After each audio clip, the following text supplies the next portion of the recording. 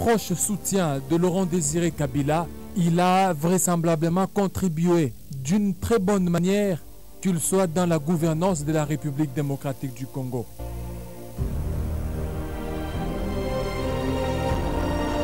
Il fut ministre des Affaires étrangères sous les règnes de Musée Laurent Désiré Kabila après le décès de celui-ci le 16 janvier 2001 et alors qu'il a été succédé par son fils Joseph Kabila Kabangé, Hirodia Ndombasi Abdoulaye en tant que protagoniste proche soutien de Laurent Désiré Kabila, il a vraisemblablement cela après le parachèvement de l'accord des Pretoria. De ce journal, Héros Diablaine Dombassi parmi les 13 parlementaires de l'UDPS, il est libre, et indépendant d'esprit, d'opérer son choix, d'autant plus que lui est démocratique de la République démocratique du Congo. À 86 ans d'âge, Abdoulaye Hérodia Ndombassi s'en est allé, mais il laisse des traces indélébiles dans l'histoire du Grand Congo. On reparle de mandat parlementaire avec ce rappel du bureau provisoire de l'Assemblée nationale. Les élus nationaux n'ont jusqu'à jeudi 21 février pour opter entre le mandat de député national et un autre qui serait incompatible. Le rappel est signé premier secrétaire du bureau provisoire. Les compatibilités des députés, parce que c'est aussi une question très très importante. La loi est dure, mais c'est la loi. Et le bureau provisoire de l'Assemblée nationale ici représenté par son premier secrétaire, Jackson Aoussé Afingoto, tient au respect des règles. Le député aux huit jours. Et les huit jours, euh, les huit jours est parti les jours de la validation des mandats.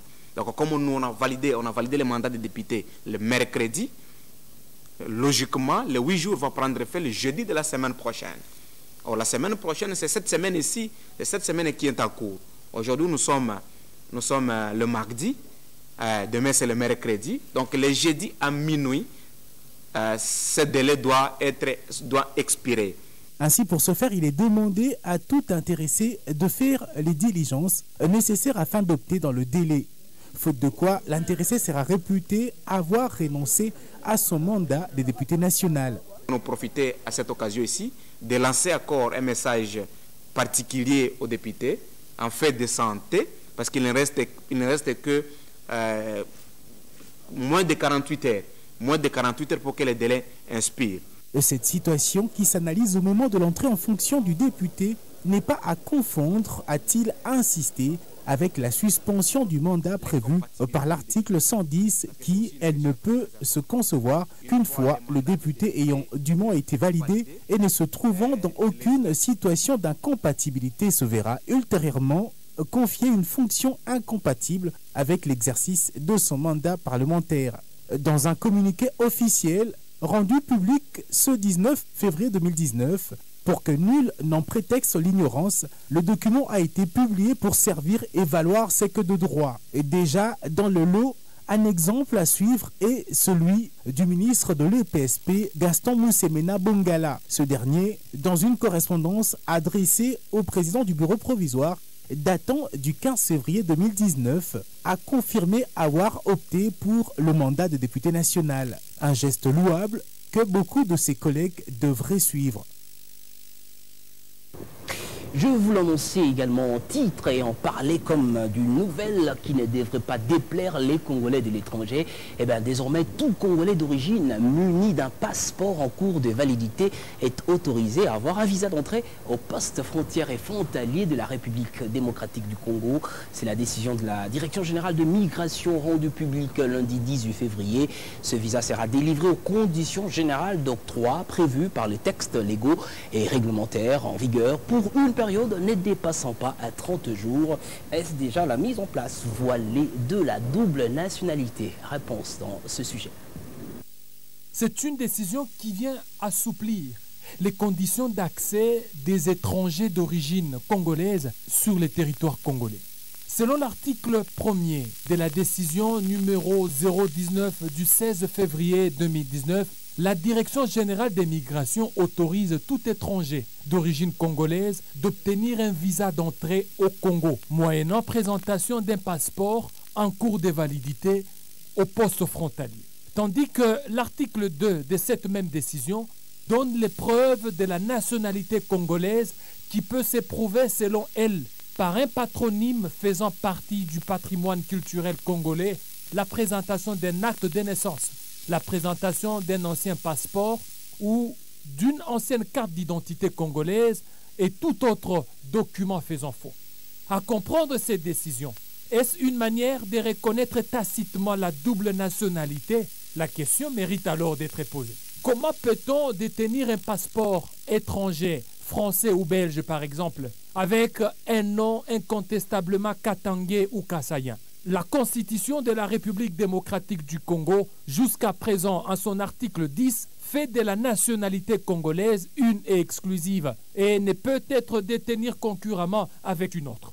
La décision de la Direction générale des migrations tente-t-elle d'assouplir la loi sur la double nationalité? La question est celle de savoir quel sera le passeport que les Congolais d'origine présenteront à la frontière, car ils auront entre leurs mains le passeport de leur pays d'acquisition. Or, selon l'esprit de l'article 2 de cette décision, il suffit d'avoir l'un des éléments énumérés pour être congolais et euh, direction le Sankourou où le président de la République euh, préoccupé par les derniers incidents dramatiques à Lusambo a dépêché euh, son ministre de l'Intérieur Henri Mova pour transmettre son message de paix à toute la population du Sankourou. Conduite à Lusambo par le président du bureau provisoire de l'Assemblée provinciale, du Sankourou, les doyens Léonard Chokitundu Lundula, le vice-premier ministre en charge de l'intérieur et la sécurité Henri Mouvasakani a apporté un message de paix et de consolation du chef de l'État Tshisekedi aux Lusvillois après leur manifestation contre la candidature du président de la CCU Lambert Mendé au gouvernorat de cette province. Une manifestation qui serait réprimée sur ordre des quelques responsables publics provinciaux selon des sources locales. Bilan, il faut le rappeler, un mort et plusieurs blessés. Toutes les communautés vivant en parfaite harmonie depuis bientôt un siècle dans cette ancienne capitale du Grand Kassai ont répété au vice-premier ministre Henri Mova que le candidat de la CCU au gouvernorat de leur province ne serait pas un rassembleur. Une occasion pour le numéro un de l'intérieur et la sécurité de les inviter au calme et à la tolérance.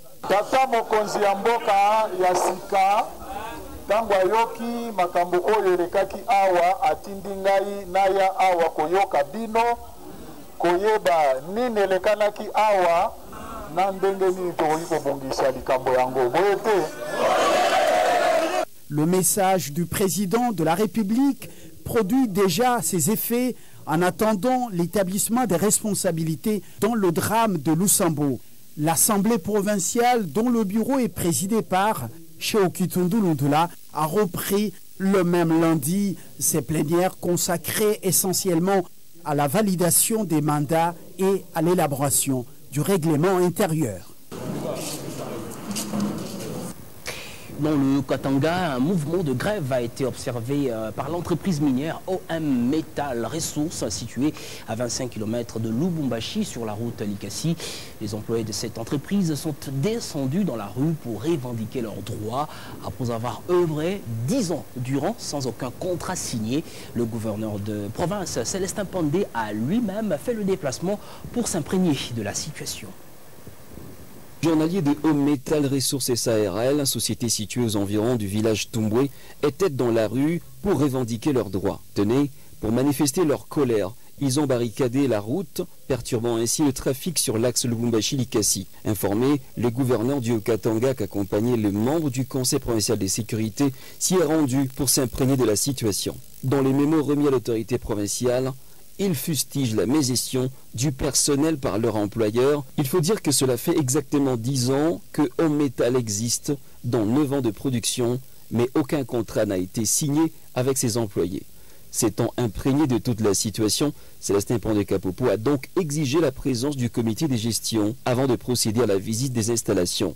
Ayant appris la présence du gouverneur dans leurs installations, les travailleurs indiens qui, eux, bénéficient d'un bon traitement au détriment des Congolais, ont pris la poudre de perlimpinpin. Ils ont directement été remis entre les mains de la DGM. Les gouverneurs a par la suite eu un long entretien avec le comité de gestion Home Metal Resources. Il ressort de cet échange que toutes les conditions seront remplies pour que ces journaliers congolais soient remis dans leurs droits. Les Indiens sont payés, je crois, 20 fois plus supérieur qu'un Congolais. Et les Congolais travaillent dans de mauvaises conditions. Je ne suis pas d'accord. L'administrateur du territoire de Kipushi et le ministre vont suivre cette situation. Il faut dire que la présence du gouverneur du Haut-Katanga, Célestin Pandé-Kapopo, dans cette entreprise a réjoui tous les journaliers qui espèrent ainsi bien rentrer dans leurs droits. La crise ainsi résolue, le trafic a repris de plus belle sur l'axe Lubumbashi-Likasi. On reste dans le Haut-Katanga où les pluies diluviennes qui se sont abattues le dimanche dernier sur la ville de Lubumbashi ont été à la base de multiples dégâts au camp militaire Kimbembe sur la route Likasi. Informé, le gouverneur euh, Kandé, euh, Célestin Pandé n'a pas tardé pour faire le constat et y remédier. Les pluies diluviennes qui se sont abattues sur la ville de Lubumbashi dans la soirée de ce dimanche 18 février 2019 ont causé d'énormes dégâts matériels au camp militaire Kimbembe situé sur la route Likasi. Le gouverneur du Katanga, Célestin Pandé Kapopo, s'y est rendu pour voir l'ampleur des dégâts afin d'y apporter des solutions. Sur le lieu du drame, toute la toiture a été emportée et la salle d'informatique endommagée, tels et les bilans des dégâts causés par ces précipitations à l'Institut Kimbembe du camp militaire de la garde républicaine ce dimanche 18 février 2019. Sous la conduite du commandant 13e régiment Simon Koulou, les gouverneurs du Okatanga a donc visité toutes les salles de classe frappées par cette catastrophe naturelle. Au-delà des salles de classe, il y a aussi des installations sanitaires, le centre des santé et quelques maisons des familles militaires qui nécessitent une réhabilitation suite à leur mauvais état, a dit le gouverneur. Parce qu'avec ça, les élèves sont au chômage. Pour ce moment, ils doivent étudier. Nous devons tout faire de demain, nous mettre au travail pour réhabiliter l'école primaire et l'école secondaire, sans oublier les centres de santé. L'Institut Kimbembe, qui regorge en son sein 81 élèves au secondaire et 300 au primaire, organise les sections commerciales de gestion, pédagogie générale, coupe et couture, maths physique et biologie chimie.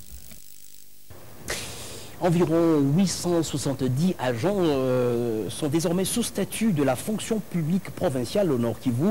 La signature officielle de l'arrêté sur leur admission à la fonction publique a été signée mardi à Goma par le gouverneur Julien Paloukou. Avec ce geste, le Nord Kivu devient ainsi la première province en RDC à avoir une fonction publique provinciale avec des agents mécanisés avec numéro matricule. Sont 870 agents de l'Assemblée, gouvernement provincial du Nord Kivu, ainsi que ceux de la Direction générale des recettes du Nord Kivu, à bénéficier désormais d'un statut d'agent public provincial. C'est le gouverneur du Nord Kivu qui a signé mardi à Goma l'arrêté portant admission sous statut dans la fonction publique de ces agents. Pour Julien Paloukou, il fallait sécuriser tous ces agents pour qu'ils soient désormais reconnus par l'État. Je suis donc fier d'avoir posé les jalons de la fonction publique dans cette province qui aujourd'hui est parmi les premières en République démocratique du Congo qui ont décidé, là où les autres hésitent encore, à prendre la responsabilité de rendre effective la fonction publique provinciale par la mise en place de ces ressources humaines. Vous n'êtes pas les agents de Julien Paloukou. Vous n'êtes pas les agents de Gilles Akizumwami. Vous êtes les agents de l'administration publique provinciale. Et donc cette qualité vous permet demain, quels que soient les changements politiques qui peuvent arriver, d'être désormais sécurisés. Les heureux agents ont chacun reçu sa notification, les reconnaissant comme désormais agents publics de l'État. Ces derniers se disent être heureux après 12 ans de loyaux service à la province du Nord Kivu. Et il a tenu à nous sécuriser parce que la plupart étaient des NI, les plupart étaient des agents euh, sans sécurité, mais aujourd'hui, avec numéro matricule, avec grade, avec fonction, et là, c'est déjà une fonction publique déjà sécurisée et qui nous rassure.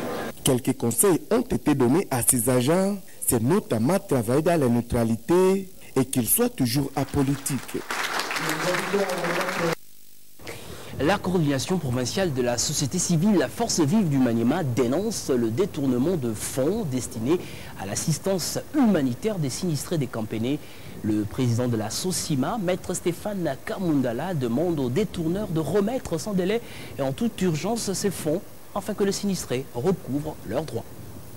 Face à cette catastrophe, le gouvernement central de la République démocratique du Congo, à travers la Banque centrale du Congo, au mois de décembre 2018, a eu à envoyer une somme de 670 millions 18 500 francs congolais, équivalent à 403 000 dollars pour assister les sinistrés de ce point.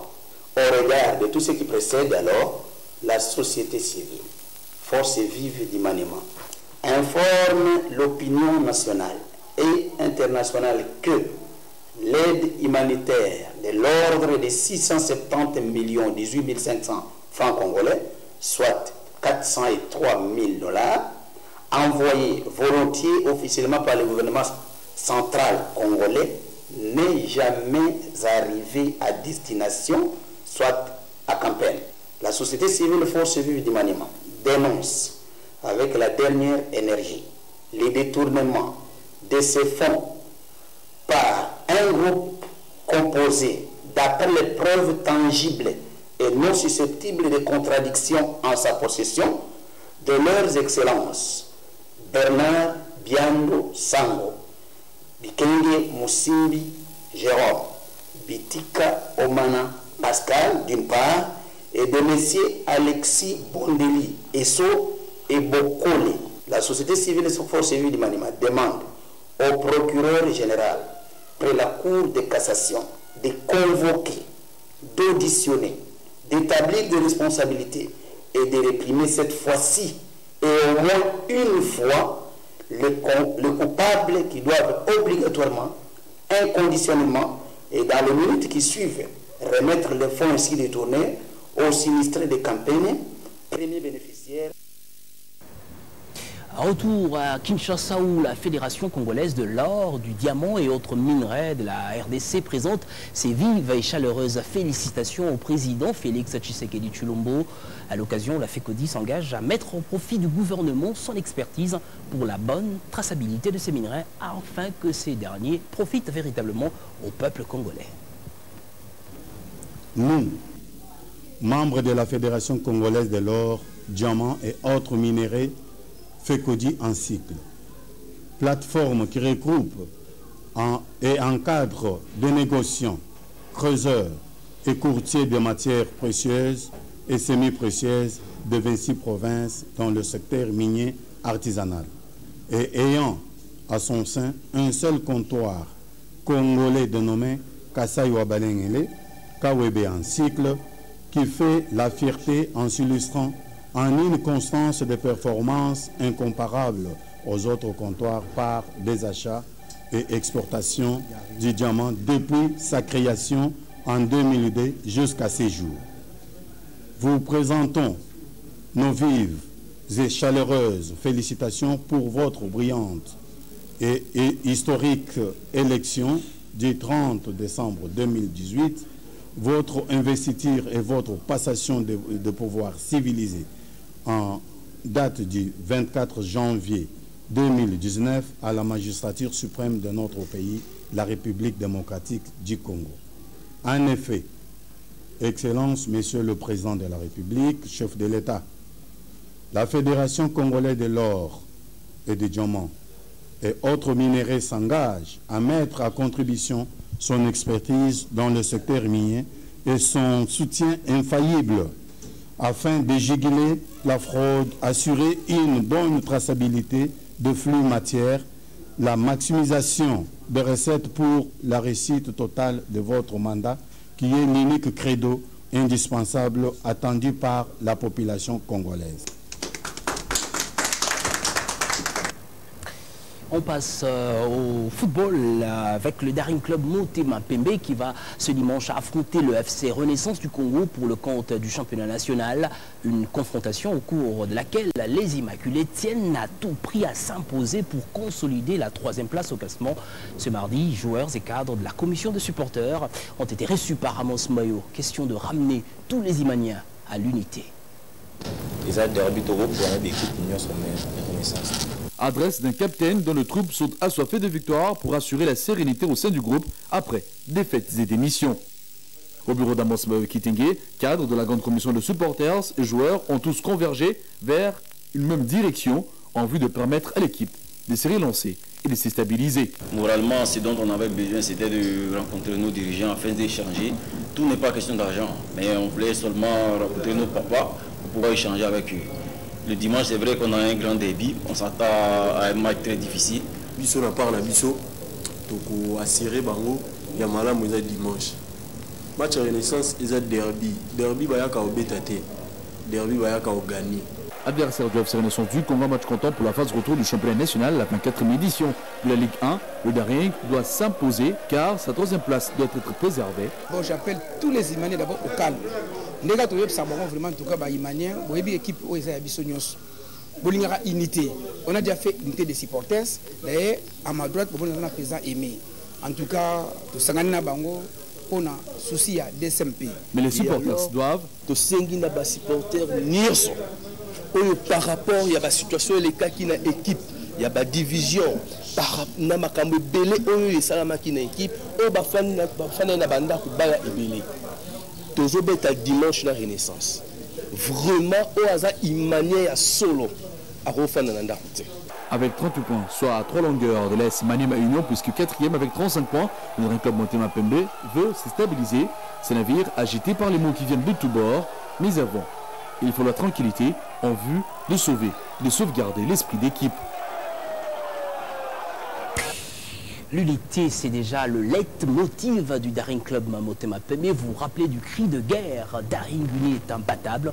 Démissionnaire de son poste de président de la grande commission de supporters de Verts et Blancs, Amans Mbayoki Tengue, appelle tous les supporters à soutenir Imana pendant ce temps de turbulence. On a parlé avec les joueurs, on a discuté. J'essaie de, de, parler aux joueurs parce qu'il y a d'abord leur carrière aussi qui est, est très importante. Parce qu'en euh, séchant les entraînements, même si la solution se trouvait aujourd'hui, je pense qu'on aura perdu. Je les ai fait euh, démontrer une chose. On a fait match nul contre Sangabalende par le simple fait que la semaine du match, ils ont boycotté un entraînement. Physiquement, ils n'étaient pas au point. Et nous avons essayé de discuter avec eux comme. Euh, un dirigeant sportif. Je pense qu'ils ont compris le langage, ils ont accepté le message de l'autorité euh, du tuteur, le président Aubin. Ils ont accepté les, les, sages conseils que je les ai donnés et tu as vu qu'ils ont, ils ont, ils ont parlé, ils, ont, ils se sont remis en cause. Donc dès ce soir, ils commencent les entraînements et nous ont promis de faire mieux le dimanche. Je pense que je dirais à tous les amis supporters de Daring, euh, nous avions commencé à soutenir cette équipe, on était dans les gradins. Aujourd'hui, Dieu a fait ce qu'il a fait que nous soyons là où nous sommes. Nous continuerons à soutenir Daring. Nous appelons tous les supporters d'Imana. Aujourd'hui, notre passion, notre amour, c'est Daring, ce ne sont pas les individus. Les individus vont devoir passer, mais le club Daring restera toujours. Donc Daring Uni est imbattable. Que tous les supporters de DSMP viennent dimanche encourager leur équipe.